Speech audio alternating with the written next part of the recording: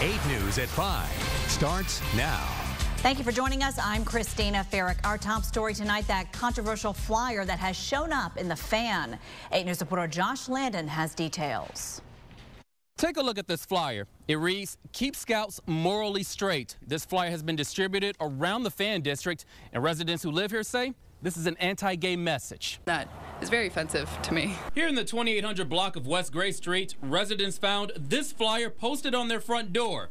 Right now, the Boy Scouts of America are considering lifting a ban on gay members. Sarah Mitkoff tells me she got the flyer two days ago. It's very ambiguous, um, but it, you know, it's a very politically, I feel like, charged issue, and it, you know, it just, it yeah, it doesn't seem to be effective in any way to get across their message. The email address on the flyers for the Chief Scout Executive, Wayne Brock, and the telephone number is for the national headquarters in Texas. We questioned the Boy Scouts of America National Organization, and they tell us they did not make or distribute the flyers. We also brought these flyers here to the local Boy Scouts office in Richmond to see if they have a response. We'll have those details tonight at 6. Josh Landon, 8 News.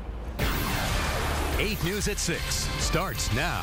Thanks for joining us this Friday. I'm Juan Conde. And I'm Christina Ferrick. Our top story, a flyer that seems to be aimed at keeping gays out of the Boy Scouts is showing up on doorsteps in our area. And tonight, 8 News reporter Josh Landon shows us what happened when he tried to figure out who sent them.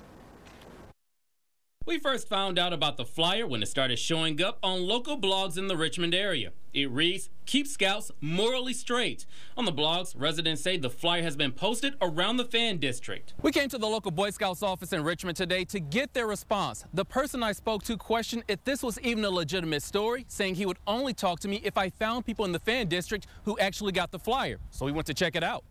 Here in the fan district, we spoke to several people who got the flyer at their home. Four of the people actually let us take the flyers with us as proof they're being distributed in the neighborhood. So we came back to the local Boy Scouts office with the flyers in our hand, and the same person did not want to go on camera, saying the organization is not behind this and believes it's part of someone's scheme to stop gays from becoming Boy Scouts. Right now, the Boy Scouts of America National Organization is considering a resolution to lift any restrictions stopping gays from joining. We have a very diverse nation, and that's that's how it is. So I think accepting that is going to be more beneficial than spreading something like this around the fan. Years ago, I was in the Boy Scouts, and things have changed through the years and everything, but I don't see nothing wrong with it. That's what they want. We're told the Boy Scouts of America will vote on the resolution in May. In Richmond, Josh Landon, 8 News.